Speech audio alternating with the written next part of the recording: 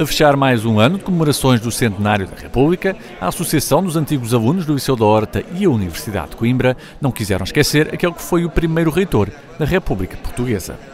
Parece que se tinham esquecido, em tempo de centenário da República, era muito importante também assinalar o primeiro reitor da República reitor em geral, porque só havia Universidade de Coimbra, mas de facto o primeiro reitor da Universidade de Coimbra da República foi Manuel da Riaga. E isso passou sem referência particular. Aliás, não é caso único de esquecimentos sobre a Riaga. Esse tem sido uma das maiores tem sido uma das maiores ações desta Associação de Antigos Alunos do Liceu da Horta, de que, de que ele é patrono. É o primeiro reitor da República, o primeiro reitor da Universidade de Coimbra da República, foi nomeado pelo Ministro do Interior, por António José de Almeida. Foi reitor por brevíssimo tempo, desde outubro até fevereiro, outubro de, 1900, de 1910 até fevereiro de 1911.